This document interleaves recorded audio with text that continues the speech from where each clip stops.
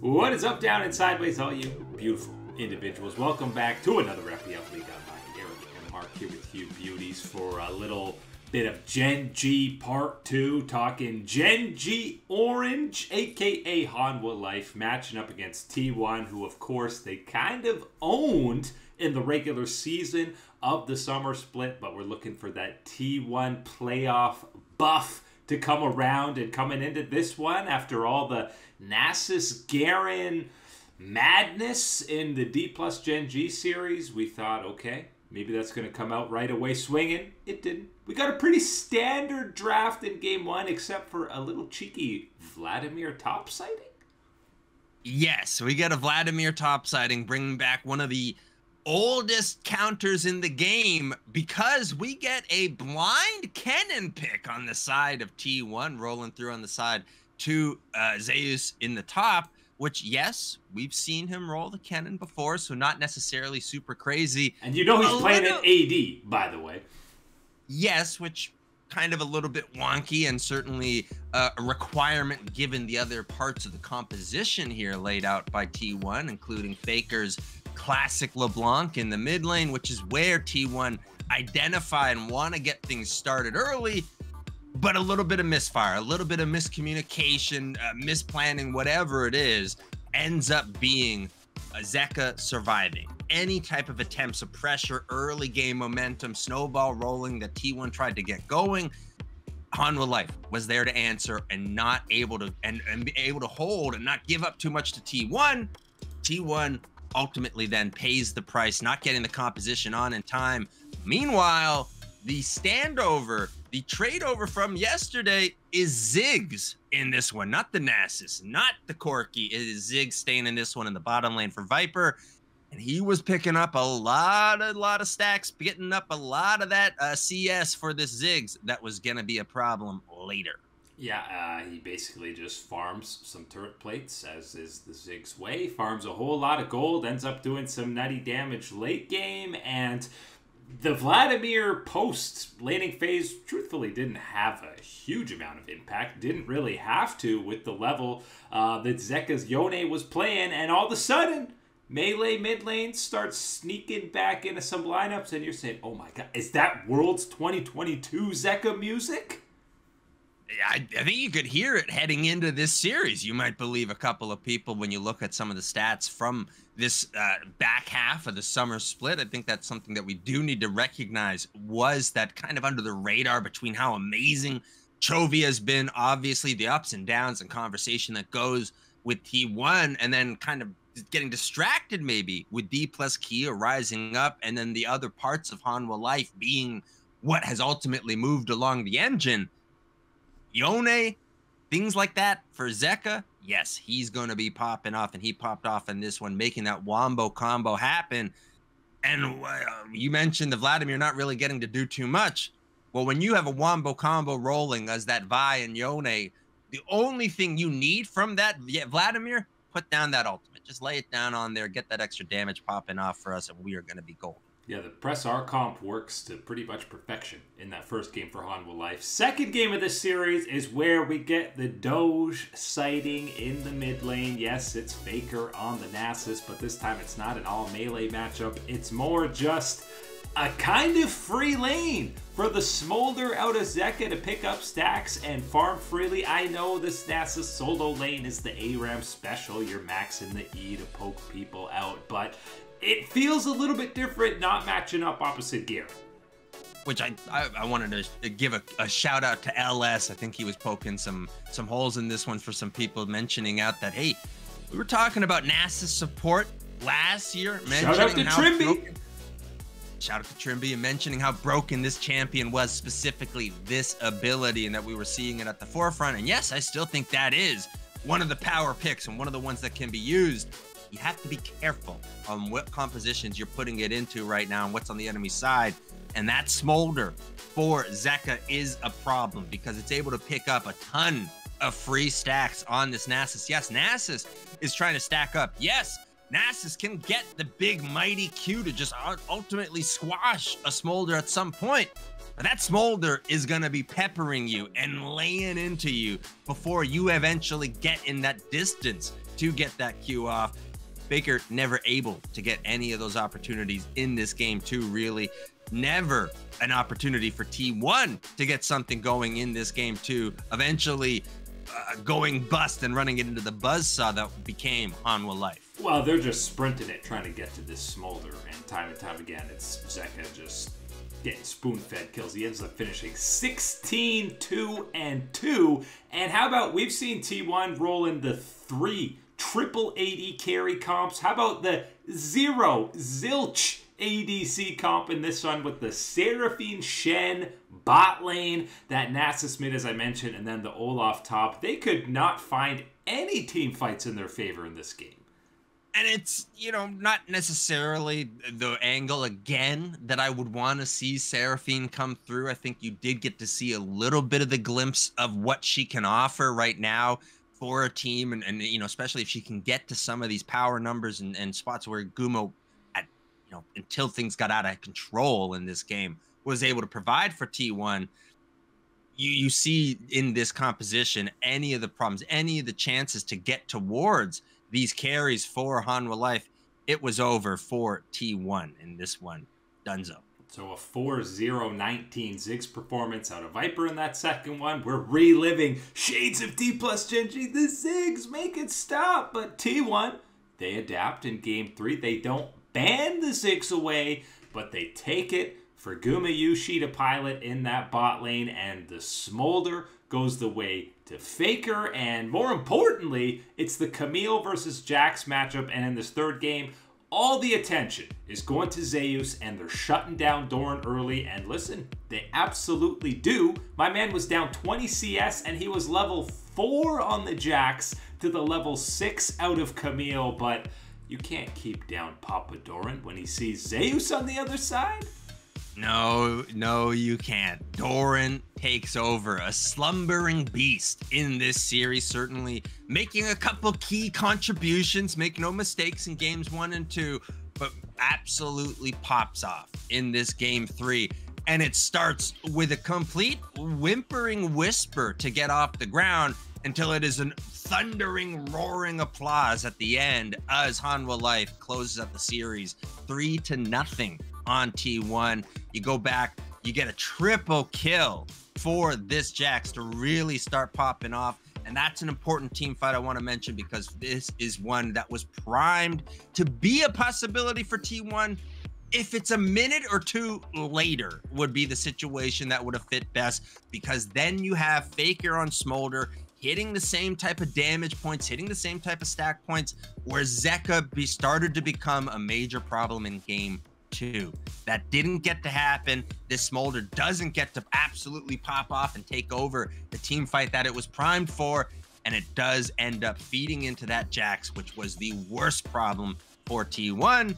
And to count, top it all off, the doo doo rotten cherry sundae of it all is you go down to the bottom lane and that Ziggs, that priority pick that you have identified on, that you sacrificed stuff like Senna, like an Ivern type of situation here for Oner, is taking that Ziggs and not fully nurturing it to the proper ways that it needed to be. One of the key differences between Viper and Guma throughout this series.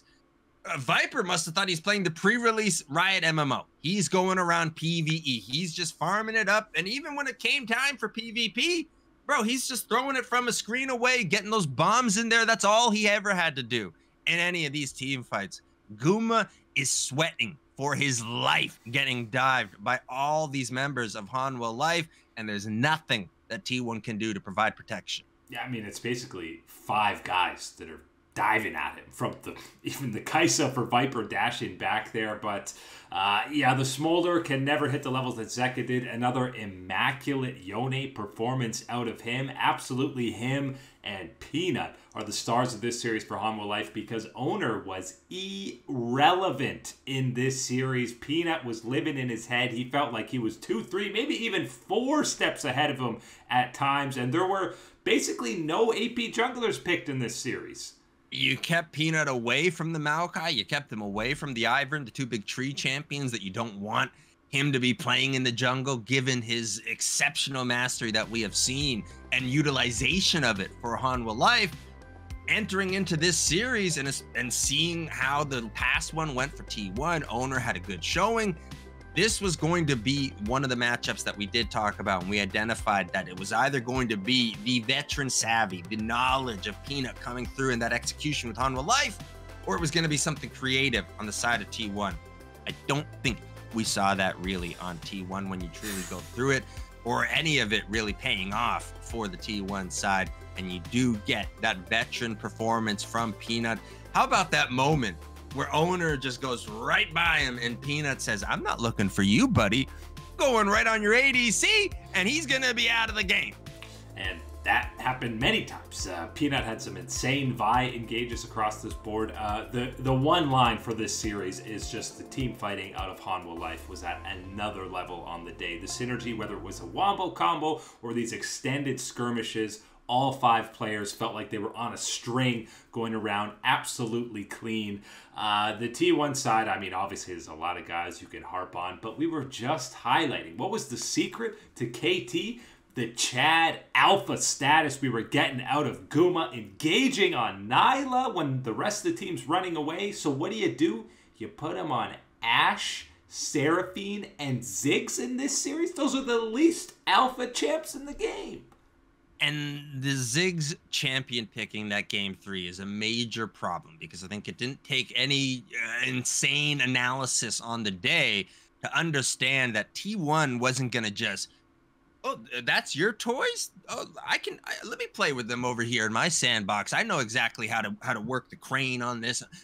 No, you don't, bro. You, these instructions are in a different language for you at this point on the day it was not good from T1 taking that one and then trying to utilize it. You saw that that didn't work.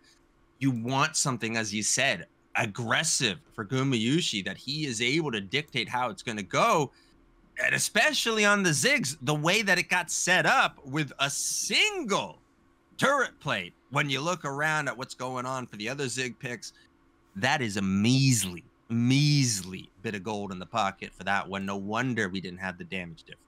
Well, now we'll see D plus T1 who can bounce back better from the tilt of getting 3 0 smashed by Gen G Black and Gen G Orange. Speaking of orange, you got to be believing bleeding orange and huffing a whole lot of hopium if you believe that the Weibo miracle run continues into the LPL Summer Grand Finals against BLG. This is David and Goliath doesn't even do justice just how big of underdogs Weibo is in this series. It feels like Weibo Gaming is that pristine, enlightened monk walking over the hardened coals and sharp glass. Nothing under this tumultuous journey is going to break their serenity to ultimately achieve and arrive at the finals.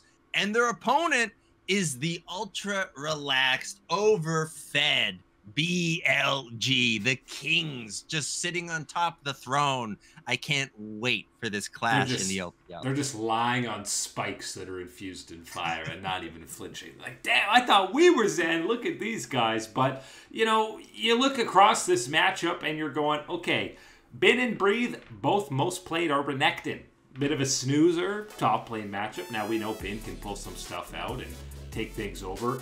AD carries. Xiao, who's amazing on these picks. He's been excelling in this playoff run. Oh, Knight just had one of the best Corki series anyone in the world has had this year, so that maybe cancels out. Both AD carries play a pretty good Ziggs off meta picks, but uh, Elk is probably a little bit better at it. Both supports have great engages, but both can int a little bit, and Crisp usually ints a whole lot more than on. So the one angle I'm looking at is number one, laning phase huge edge to BLG.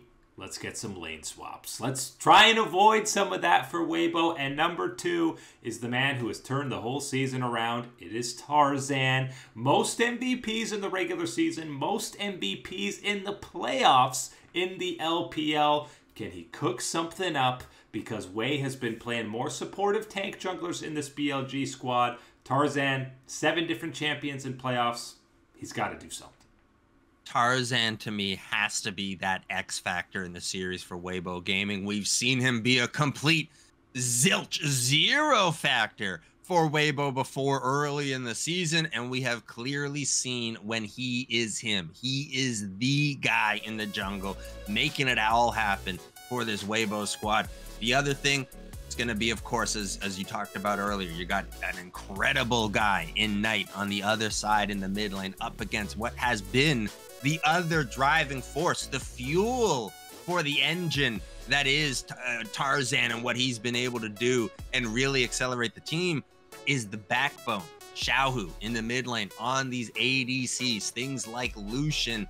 It's going to be a tough task running that into Knight in the mid lane if Tarzan is not in his game, in his element, and making things happen for Weibo Gaming. And we, you know, it goes even deeper, harder for Weibo. We just finished praising Hanwha Life for having incredible team fighting against T1. How many times in this last set against Weibo did BLG have guys surviving with sub 100 health and then the buddy comes in to save him and then somebody else comes in to save him? The team fighting out of BLG and they're opting into team fights every single time has been arguably the best in the world, even better than Gen G. And that's where then I want to return to the top lane of this matchup and talk about Bin and what he's going to do in this series because you talk about maybe the Renekton being, you know, boring gameplay. Sure. Oh, maybe we don't want to pan the camera too much over pre 15 minutes towards the top lane.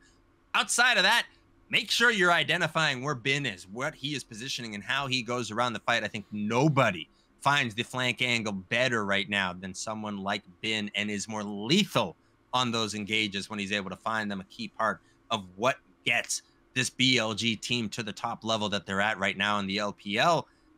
I, I these team fights are going to have to be something else to top the notch that we are seeing currently in the LCK with Gen G and Hanwha Life showing that type of power.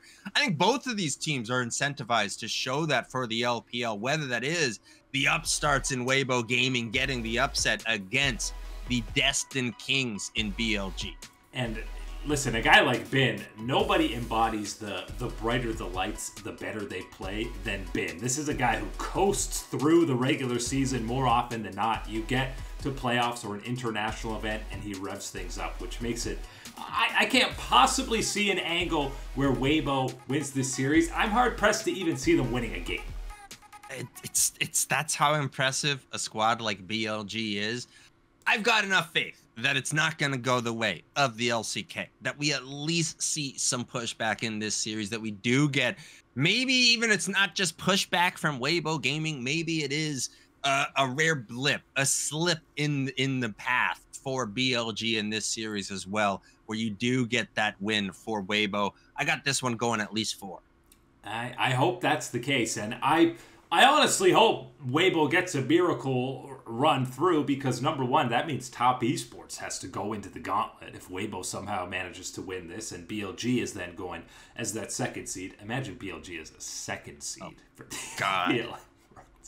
That's no, maybe not no, a state I want to live in. Don't don't let us have that as a possibility. That is not fair to anybody, either the one seeds or the three and four seeds for a group that, uh, situation at Worlds. Don't want to see that one. This series should live up to it. I've I've got a feeling of it. I know there's that angle of oh maybe it's just going to be a fraud performance from Weibo Gaming. I'm going against that. I'm taking the angle that we are seeing an entertaining finals in the LPL well, it's going to be entertaining, even if it's a stomp. Case in point, that game three in the last of their matchups that was uh, a bloodthirsty one to say the least. LCS announcing the rookie of the year today. Probably by the time uh, this might get uploaded, it might be announced, but it's either Massu, Sniper, or Thanatos. And this seems cut and dry to me. Thanatos has only played one split He's been great, but this is like kind of for the full year. And Sniper has kind of trailed off a little bit, whereas Massu maybe started a little bit slow, has leveled up. Massu is the clear front runner to win this.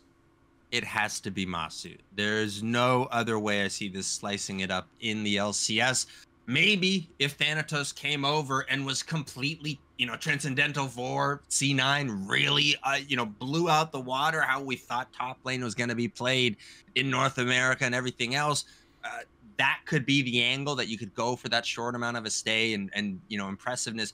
over the improvements that we have continued to see from Massu. That's where I want to start the focus on because what we saw from him in the spring split was certainly a little bit tentative, a little bit behind the speed of where he needed to be at the optimal level for FlyQuest to find success. And that level isn't super high or super much of a demanding one, but it has to be there at a certain point if you're going to be a championship caliber team in this type of point. And that is where he has delivered for FlyQuest. The improvements from a lot of tough lessons at MSI. I don't think as strong or as big a gains or as notable, maybe as players like APA and Jan that we've been spoiled with recently with Team Liquid, but absolutely guaranteed gains that we have seen from him in the bottom lane for this FlyQuest team. And the confidence that I think that we are seeing to grow from him is another factor that I want to think uh, has really played into the success that we've seen in the second half of Summer Split. The point for all three of these guys is the future is bright for young talent in the LCS, and I know Thanatos is from the LCK. You can't call him NA talent, but specifically, even if you zero in on Massu and Sniper, the mentality that both of these guys have about playing the game. You've heard Massu talk about they got smacked at MSI. They got beat up and beat down. They did in scrims too, and he said he learned so much in that moment. Uh, and throughout that event, learned way more than when he was playing domestically. And even Sniper, he's had already some ups and downs, some hills and valleys. But the way these guys talk about improving and focus only on themselves are never, never blaming anybody else. It's always what they can do better and improve. And to have that mentality as a rookie, kudos to both of them. It's saying about the the individual horse. This is about the full stable of the LCS at this point. When you're talking about the quality of rookies that are coming through and continuing to be invested in and moving on and becoming key parts of this league. General Sniper, Massu, certainly players that you can add to that category and feel confident about from this first split. Throw in Thanatos. Yes, we know LC LCK Challenger player coming on over and, and helping us out, but Thanatos might have come and inspired Impact to have his best split ever. So we'll give him a thumbs up for that as well, the young guy coming in. But that is it today for League on Lock. Eric and Mark here with you, beautiful people. Thanks for hanging out, and we will catch you on that flippity flip.